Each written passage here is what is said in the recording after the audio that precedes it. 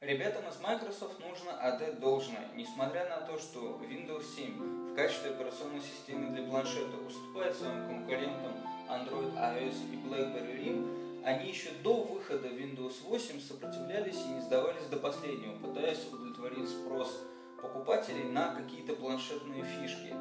Во-первых, что хотел бы получать э, пользователь от планшета? Ну, конечно же, для начала это мобильный интернет. С этим у нас проблем нету. Wi-Fi адаптер, у нас есть и 3G модем. Также чтение книг. Опять же, э, на Windows никаких затруднений нету. Но все хотели бы также и играть в какие-нибудь игрушки. Глубокое заблуждение считать, что для Windows 7 нету игр, оптимизированных под пальцы. Это не так, они есть и в интернете, их достаточно много. А, но кроме того, Fujitsu предлагает своим адептам предустановленный а, Microsoft Touchpad for Windows 7. Это набор из пяти программ, которые заточены специально под пальцы. Первая и, пожалуй, самая бесполезная программа – это Microsoft Surface Lagoon. Она представляет собой заставку для рабочего стола, и выглядит это примерно вот так – Это лагуна, как следует из названия программы, в которой плавают рыбки и по поверхности воды, которые можно водить пальцем, создавая рябь. Мой взгляд, максимальное применение этой фишечки это, ну, разве что демонстрация на стендах. Смотрите, как мы умеем красиво делать, действительно выглядит красиво, кушает очень много батарейки и совершенно бесполезно. Следующее приложение называется Microsoft Surface Collage. Как мне кажется, оно тоже довольно бестолковое, но может быть кому-то покажется забавным. А что оно умеет? Папки изображения она предлагает пользователю выбрать некоторые картинки. Ну, я сейчас выберу первую попавшуюся, там, раз, два, ну, скажем, три. А дальше с помощью мультитача я могу пальцами их организовать вот в каком-то порядке, наложить друг на друга, ну как-то, например, вот так. Далее выбрать, ну скажем, фон, пускай это будет оранжевый вот такой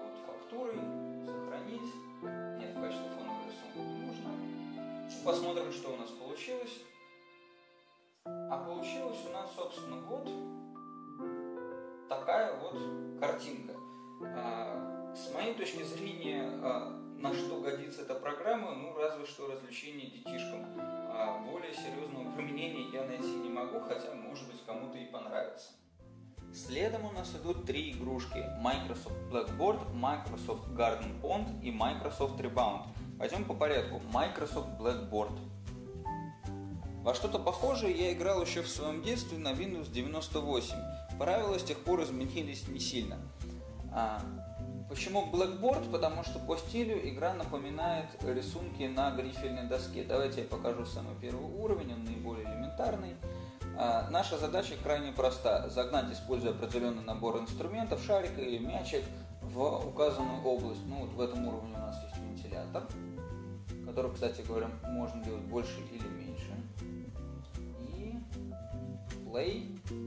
Да, шарик полетел куда нужно. В общем, ничего нового в этом мире нет. Игрушка забавная и требует некоторой соображалки. Следующее развлекательное приложение в этом пакете называется Microsoft Garden Pond. Это такая очень неторопливая игра в восточном стиле, построенная на управлении корабликом оригами. Правила бывают разные, потому что типы игры бывают разные, но давайте покажу деревню. В общем, принцип от этого не сильно меняется используя рябь на воде, которую мы вызываем прикосновением пальца к поверхности пруда, мы должны загнать наш кораблик из оригами в нужную область. В, данной, в данном типе игры нам нужно собирать цветочки лотоса, при этом желательно избегать вот этих вот масляных ламп, потому что если мы этого не сделаем, то мы загоримся. Но можно кораблик и потушить.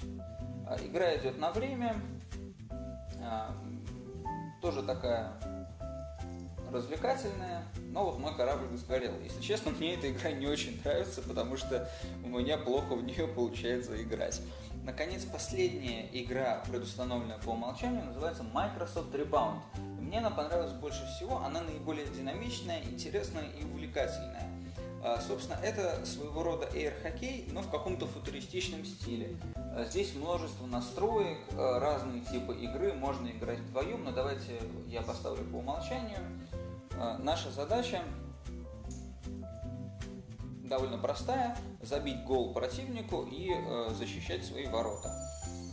Но при этом у нас, как вы видите, все не так просто. У нас есть какие-то вот энергетические цепи между шариками, которые можно использовать в качестве ракетки.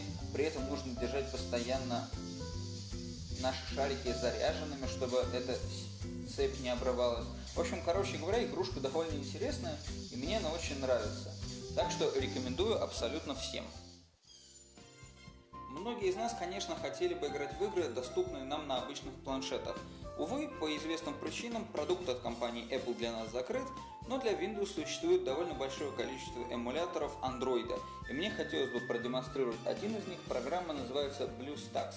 Чем она привлекла мое внимание? Она позволяет синхронизировать приложения, которые установлены у меня на Android девайсе, и клиентам, которые я ставлю на компьютер, ну или в данном случае ноутбук.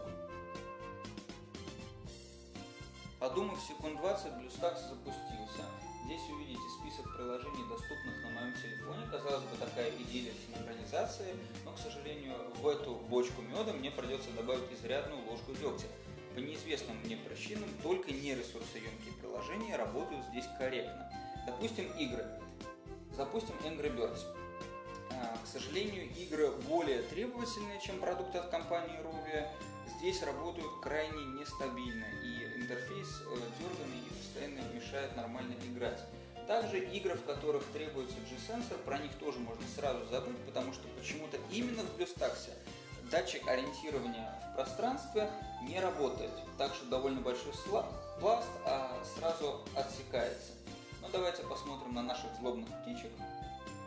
У кого-то они, наверное, уже в печенках сидят. А, здесь интерфейс, как вы можете сами наблюдать, нормальный, плавный, без зависаний. Хотя мы все понимаем, а, что а, Angry Birds абсолютно нетребовательная игра. Так что, к сожалению, Android все равно, так что, к сожалению, все равно Android здесь получается несколько урезанный и не полностью функциональный. Например, мне было бы очень удобно пользоваться на T580 картами от Google. Но по ряду причин, часть из которых я уже объяснил, а часть из которых я объясню чуть позже, здесь ими пользоваться не удается. Так что, как ни крути, все-таки Windows 7 это вам не Android и функционал у нее меньше.